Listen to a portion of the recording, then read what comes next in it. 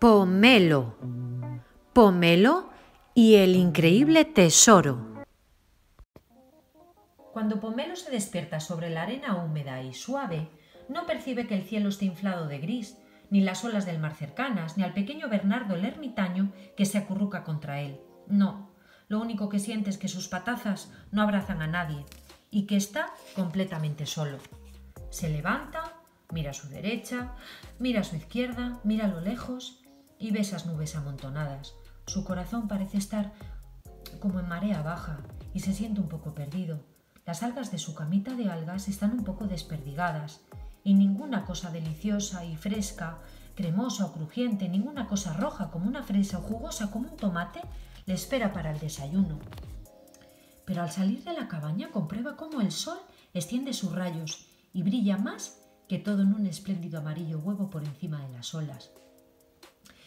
Y si no está soñando, ve a Estela. porque es Estela esa preciosa mancha roja anaranjada sobre esa roca lejana? Pesca o piensa, o pesca y piensa a la vez. El corazón le da un vuelco y sus patatas emprenden un triple galope hasta allí. Y como por arte de magia en un segundo ya está junto a ella. La rodea con la trompa, cierra los ojos y le desliza una palabra dulce, tan dulce como el algodón crisálida, sol o tú. Buenos días, te dice con una sonrisa. Y acto seguido, tango, rumba, cha cha cha, rock and roll baby, hasta las nubes juegan a que son ovejas saltarinas por encima de sus cabezas. La playa está inundada de tesoros, las algas desprenden su aroma ayudado y fresco, los castillos no esperan más que a ser construidos el día, ya puede comenzar. Y la vida es de color de rosa por partida doble.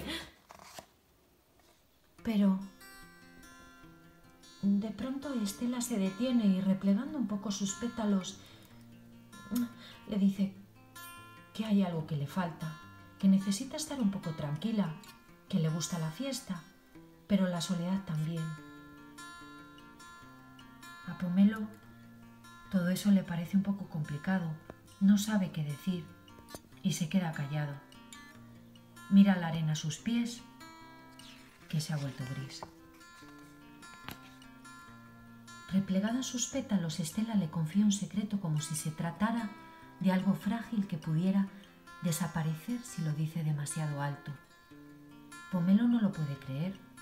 ¿Un huerto? ¿Bajo el mar? ¿Con hierbas altas entre las que perderse un buen rato? ¿Y fresas para masticar y amigos jugando en una fiesta de luces atornasoladas? La vida es de repente un arco iris y está claro que Pomelo decididamente quiere ir a ese lugar. Pero, a ver, ¿qué hay que hacer para pasar al otro lado del espejo del agua? Ay, Pomelo piensa en la lluvia, en el baño, a ver, en las lágrimas. Piensa que después de todo, el agua, a ver, no le es tan extraña. Y que si Estela puede entrar, entonces no hay razón por la que él no pueda hacerlo también. Sobre todo si allá abajo hay fresas. Pero lo que Pomelo descubre una vez que su cuerpo, sus ojos, sus orejas y su cabeza han pasado al otro lado, es que este huerto no se parece nada al suyo, que las fresas son anémonas y las hierbas algas, que los amigos tienen todos forma de pez y tiene eh, ganas de tocarlo todo y ir al fondo a por las cosas, pero glu. Quizá el fondo eh, es demasiado profundo y no le quede más remedio que permanecer en la superficie, flotar en el techo. Probablemente haya lugares en los que no se puede seguir al otro, aunque se trate de pomelo y el otro sea Estela. O quizá esto no sea tan importante. Además, basta con darse la vuelta y tener de nuevo el cielo encima de la cabeza, con todo su sol brillando. Y ver, a ver, una estrella, incluso, ¿eh? ¿Una estrella? A ver, a ver, a ver, ¿qué es eso que se descuelga del cielo en pleno día? Que lo alza, que lo levanta, que lo sonríe, que lo lame con la lengua cálida y resposa de un pájaro emplumado. ¡Uh! Y le llama conejo querido. Ay, Pomelo no está seguro de haber comprendido en qué dimensión acaba de entrar. Él no sabe quién es ese sujeto que sin embargo parece conocerle también. Este sujeto con forma de estrella, pero muy grande, que no tiene nada que ver con las estrellas de mar, ¿eh? y que habla y gesticula sin parar, y que lleva un bolso lleno de cosas, que lo envuelve con su plumaje, lo aprieta de golpe contra su corazón palpitante y le besa. ¡Uy! El beso se extiende por toda la mejilla de un rosa sorprendente. Ma, ¿Mamamelo? Qué feliz soy de haberte encontrado. Espero no haber estado fuera mucho tiempo. Tenía tantas cosas que hacer, tenía tantas cosas que hacer. Y pasa tanto el tiempo tan rápido, susurra la gran sombra rosa que le mece y le hace cosquillas con su largo cuello por detrás de las orejas. ¡Ah! Una estrella en el cielo. Oh, una expresión de papá me lo exagera, ¿sabes? Eh, son sus ojos los que brillan. Yo no. Mamá Melo ha traído con ella un siglo de tesoros. Pomelo es el primer sorprendido y Estela es la segunda. Pero mamá Melo, todo aquello parece ser lo más natural del mundo.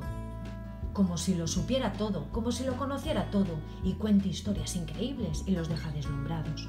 Cuando termina de trajinar de aquí para allá, se dan cuenta de que han preparado una fiesta. ¡Una fiesta para Estela! Y la orquesta de los caracolillos toma la pista. Y las cositas deliciosas para todos. Mm, y los amigos de la marea baja han subido de las orillas y han comenzado a bailar. Cada instante es un tesoro. ¿O hay un tesoro dentro de cada uno de nosotros? Susurra mamá mientras emprende el vuelo de nuevo hacia el vasto cielo estrellado.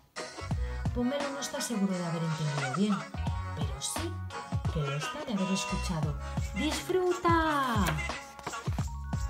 A Pomelo le han entrado unas ganas de pronto terribles de estrechar estrella a Estela contra su corazón y de bailar con ella hasta el amanecer y de reír y de que ella le cuente cómo es la vida bajo el mar y de contarle a ella cómo es la vida en el huerto de las fresas y de bailar sin parar y de que ella aporte sus propios tesoros para que crezcan y crezca aún más el increíble tesoro de este instante.